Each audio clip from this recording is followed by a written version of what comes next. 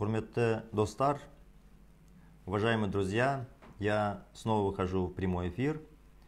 И сейчас этот эфир будет посвящен более, а, больше всего организационным вопросам. И сейчас я буду говорить только по Алматы. А, сегодня уже известно, что завтра, в 12 июня, в 10.30 начинается процесс инаугурации Касымжумарта Токаева. Инаугурации нелегитимного президента на этих незаконных выборах. И мы знаем, что вся страна недовольна итогами выбора. Мы не должны промолчать, мы должны действовать. Вчера наши уважаемые алматинцы, молодежь выразили свой протест, когда организовали автомобильный караван по Тулеби, по Абая и по другим улицам. И наши сторонники э, выдвигают к нам обращение, чтобы мы озвучили, озвучили план действий, как мы будем реагировать на то, что завтра будет инаугурация Касмжумарта. Кстати говоря, обратите внимание, инаугурация срочная. Главы других государств не приезжают, никто не успевает приехать. Обычно легитимизация происходит еще, когда заранее приглашаются гости с разных государств, э, представители различных парламентов и так далее. Посмотрите на спешку, какая спешка со стороны Назарбаева идет. Ну, во-первых, ему нужен карманный президент, которого никто особо не уважает, и более того, даже не приехали зафиксировать его назначение, еще раз повторяю, на должность президента, назначение. Никто из глав государств не приезжает, не поздравляет. Парламент соседних стран или других стран не приезжает, как недавно было в Украине, когда это действительно было торжественное народное мероприятие легитимизации президента, его празднование. Так вот, он все это делает в спешке, потому что видит гнев народа, хочет быстро его зафиксировать на позиции президента. Ну и второе, представляете, вот такой президентишка, мебелюшка, мебель. Ходит он его так, говорит так, ляжь, встань и так далее. Вы, наверное, видели, вот недавно было мероприятие в пятницу, когда всех студентов согнали в Астане. Идет Хасмужамарт рядом с Назарбаевым. Назарбаев руку поднимает, так быстро реагирует. 79-летний старик выглядит бодрее, чем человек на 13 лет его моложе, Хасмужамарту 66 лет. И он даже ему руку поднимает вверх, потому что Хасмужамар даже не может руку поднять вверх, с трудом передвигается. Так вот, такого президента завтра страна должна чествовать. И состоится инаугурация в 10.30 утра по Алматы. Мы, безусловно, должны свое сказать слово, сказать «нет», выдвинуть свои требования к этой власти и я благодарю наших алматинцев, которые подали прекрасную идею, как мы можем двигаться так, чтобы фактически заблокировать весь город, чтобы тысячи людей могли выразить свой протест, объединиться как единый народ, и шаг за шагом мы добьемся смены этого мафиозного режима. Как выглядит предложение наших сторонников? Завтра, 18 часов дня, когда многие завершают свой рабочий день, наши сторонники предлагают следующий план действий. Я его озвучиваю открыто. Открыто и по итогам моего выступления сейчас по социальным сетям пойдут плакаты, видеоролики, реклама и так далее. Это будет все сделано стремительно. Имейте в виду, уважаемые друзья, завтра эта власть пытается снова ограничить в нашей стране интернет. Итак, мы ориентируемся, что центральное место организации массового протеста это Старая площадь, Тулеби и угол Аблайхана. Но в этот раз мы делаем все по-другому. Мы организовываем протест более масштабный. А, в Алмату есть несколько улиц сквозных, по которым происходит въезд транспорта. Это улица Ташкентская, это Тулеби, это проспект Абая, это Аль-Фараби. Это четыре ключевые улицы, когда из микрорайонов происходит въезд автотранспорта в город. Что мы предлагаем? Мы предлагаем ровно 18 часов, чтобы наши сторонники начали перемещаться в сторону Старой площади, с района Тостака, по проспекту Абая, по Аль-Фараби, а, по Ташкентской, автомобильной колонной 18 часов сигналит и начинает двигаться в сторону Старой площади Тулеби и Аблайхана. Вы понимаете, когда такая масса будет ехать, когда начнется э, автомобиль, автомобилист будет сигналить, это будет мощнейшая сила, которая привлечет новых сторонников. Это если говорить о э, въезде в город в сторону Аблахана Тулеби. И еще есть нижняя часть города. Нижняя часть города это от автовокзала Саяхат. А, там тоже транспортная развязка очень большая. Очень много людей там собирается, уезжает, приезжает. И со стороны автовокзала Саяхат мы предлагаем а, подниматься вверх до Тулеби и Аблайхана. Также есть сквозная большая улица, это улица Сифулина. Тоже с нижней части города можно тоже автотранспортом перемещаться в сторону а, Тулеби, Аблайхана. Таким образом, когда вся эта масса автомобильная будет двигаться в сторону центра, вы понимаете, что это будет большая такая движущая колонна, двигающаяся со всех сторон, и полиция ничего не сможет сделать, потому что их силы малый, маленькие, они будут раздроблены, и тем более, как можно остановить транспорт, который просто идет в этом направлении. То есть все медленно начинают на небольших скоростях перемещаться, создается фактически блокада города. Это то, что касается автомобилистов. Второе. Мы предлагаем пеший ход, при том, чтобы полиция не могла концентрироваться на определенных улицах, мобилизовывать силы.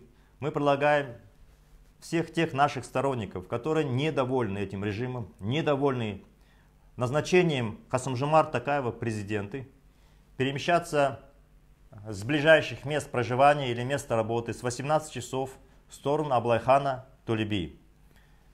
Это с верхней части города, с нижней части города. И идти по разным улицам, небольшими группами, в одиночку, неважно, все концентрируемся, идем в сторону Аблайхана, Тулеби. Это приведет к тому, что фактически у полиции не будет никаких возможностей и оснований задерживать людей, которые просто идут по, тротуарам, но двигаются строго в определенное место Аблайхана и Тулеби. С разных сторон и за достыком улицы, та часть города, и верхняя часть, и нижняя часть, и с микрорайонов, кто, кто может, кто находится в прилегающих районах, двигается пешим ходом. То есть фактически это шествие всего города. Третье. Те, кто проживает дальше, находится дальше от Аблайхана Тулеби, передвигается на автобусах, троллейбусах и тоже все передвигаются в сторону Аблайхана Тулеби. И в течение короткого срока фактически э, многотысячная масса будет собрана на Тулеби Аблайхана. Транспорт в этом районе будет полностью заблокирован. И таким образом, с учетом того, что автомобилисты будут а, использовать автомобильные гудки. Также наша молодежь может использовать вот э, голубые так называемые э, дымовые шашки праздничные, которые используют на праздник, которые продаются свободно в магазинах. Уважаемая молодежь, мы, мы можем это сделать очень круто, очень весело, очень интересно. Собственно, как в мире происходят протесты. Мы организовываем мирный протест. Мы выдвигаем требования Тохаев Кет мы должны потребовать освободить всех задержанных. Власть невнятно произносит, что задержанных полторы тысячи, тысячи семьсот, но сегодня прозвучала цифра, что в целом задержанных по стране более пяти тысяч человек. Поэтому я обращаюсь к родственникам, я обращаюсь к друзьям тех, кого кто в этом процессе пострадал, кого задержали. Мы должны потребовать немедленного их освобождения. Эти, часть из этих задержанных перебросили за 100-200 километров от Астаны, потому что там тюрьмы переполнены, потому что люди получили э, пятидневный, э, десятидневный э, срок тюремный, и их отправляют в соседние города. Это, кстати говоря, тоже незаконно. И мы должны потребовать их освободить. Еще мы должны потребовать освободить наших политических заключенных. Мой друг Мухтар Джакшев находится в тюрьме уже больше 10 лет. Больше 10 лет. Человек, который поднял с колен урановую отрасль.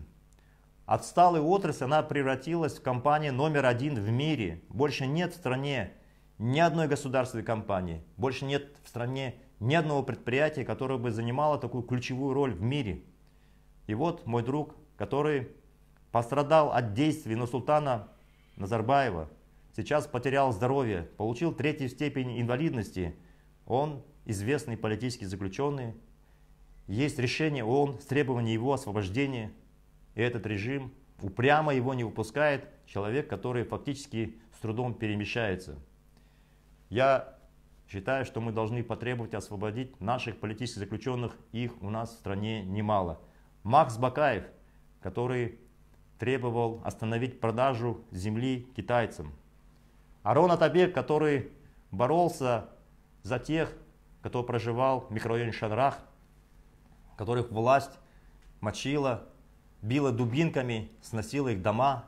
И это все делалось руками и Мангалита Смагамбетова, который был акимом города Алматы и называл всех тех, кто там проживал, социальными аутсайдерами и говорил, пусть они убираются вон.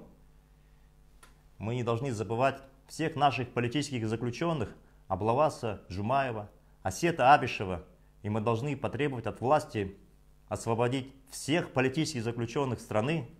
Мы должны осв потребовать освободить всех тех, кто пострадал на этих митингах протеста, потому что если мы это не потребуем, завтра власть ночами будет, как в 1937 году, приходить к вам домой, вытаскивать и тихо закрывать какие-то тюрьмы, разных регионах страны.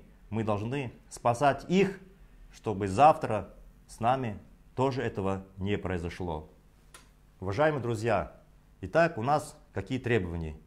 Мы говорим, Тохаев, Кит, мы требуем освободить политических заключенных, мы требуем освободить задержанных, и мы, я уверен, я уверен, мы должны сказать, шал кит shall kit.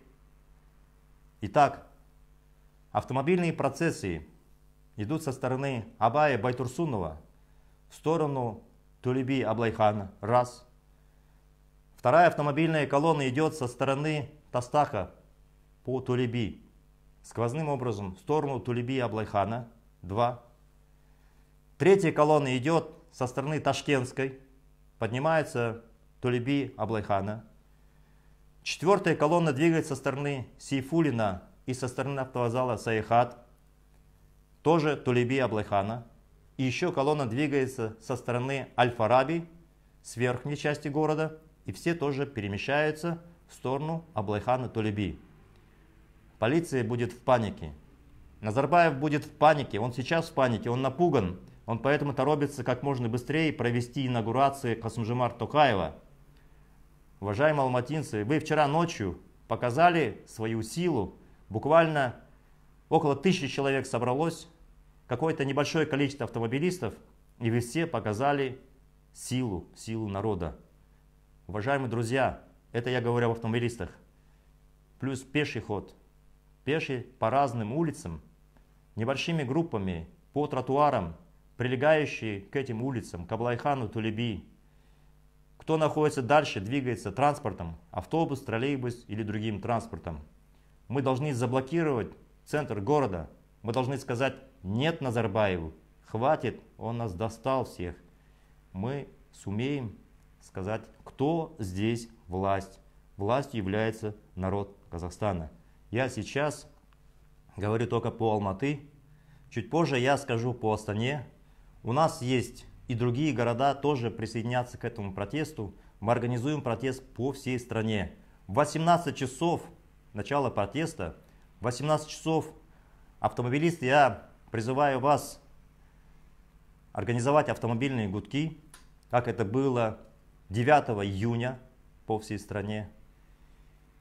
Мы действуем с 18 часов.